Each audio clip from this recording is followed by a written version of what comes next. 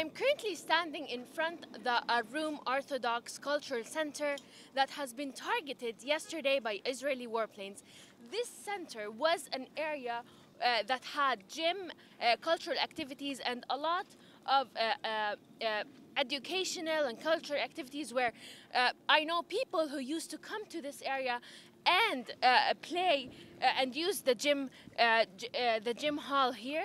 It, th- this place also has a huge playground, as you see, but now it's full of the ro- of rocks and rubbles.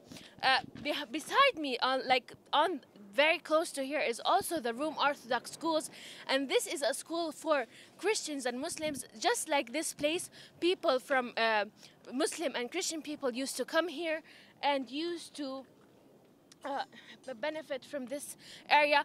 Uh, we came here a couple of weeks ago in the beginning of this uh, uh, Israeli assault, and we saw hundreds of people taking this place as a refuge. And also, I was talking to the people in the neighborhood, and they told me that the uh, the school also had people um, in there taking refuge and shelter, but they uh, were asked to leave, and they evacuated uh, the school